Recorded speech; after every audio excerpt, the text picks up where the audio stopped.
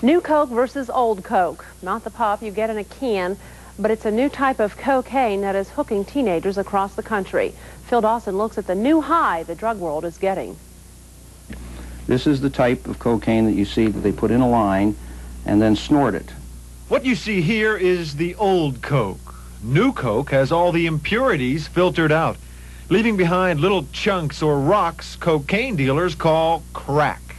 Presumably that's the name, where it got the name crack, because it has to be cracked to reduce it to a powder small enough to use it.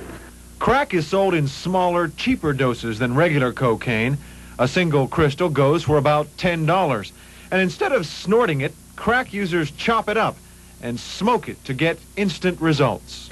You smoke it and bang, it's there right away. So you get high immediately. You don't wait. Users also apparently get addicted almost immediately after smoking crack just a few times.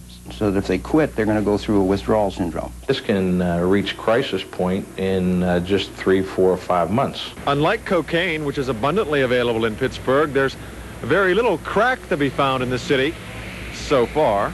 New York has a very fast increasing problem with this.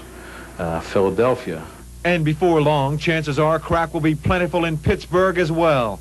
It's a new way to market an already popular product. It's business, big business, not million dollar, but billion dollar business. Downtown, Phil Dawson, Channel 11 News.